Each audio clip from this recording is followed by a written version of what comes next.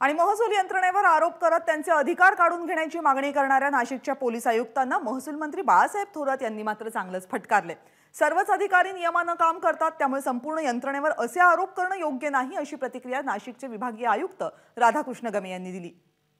सर्वांना दोष देणं विभागाला दोष देणं अत्यंत आक्षेपार्ह आहे.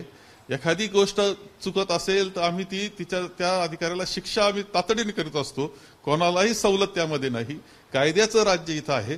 आणि कायद्याचं राज्य असताना एखादा अधिकारी अशा पद्धतीचं वक्तव्य करतो ते मीडिया पुढे येतं. हे अत्यंत दुर्दैवी आहे. आणि त्याची नाराजी आम्ही माननीय मुख्यमंत्र्यांना सुद्धा याबाबतीत अवगत करू. कायद्याचं राज्य आहे. कुठं चुकत असेल तर जरूर दाखवावं.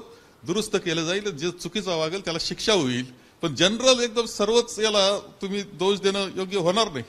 असं असं कधीच नसतं. कायद्याचं राज्य अजून महाराष्ट्रात आहे. एक कुटुंब प्रमुख म्हणून याच्याकडे बघितलं पाहिजे हो. माझ्याकडे फक्त महसूल यंत्रणेचंच नियंत्रण आहे असं नाही. जिल्हा परिषदा आहेत नगरपालिका आहेत.